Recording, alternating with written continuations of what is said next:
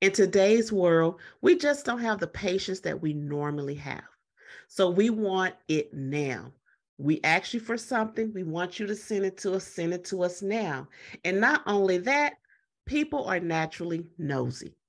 So, because they want to know and the information is there, you have information that you can share that is readily available for anyone to access at any time. So, I'm going to share my media kit with you so you can see what I'm talking about.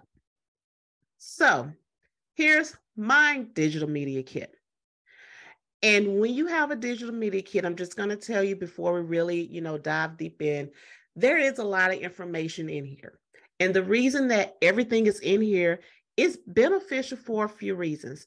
One, if you're asked about something or um, you're trying to update your information and you're trying to think of, you know, where did I speak? When did I speak? Where's that flyer? How did I do this?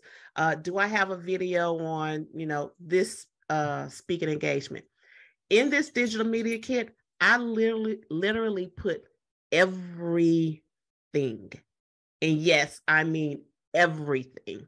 Anytime something new happens, I can easily come in here and update um, this media kit.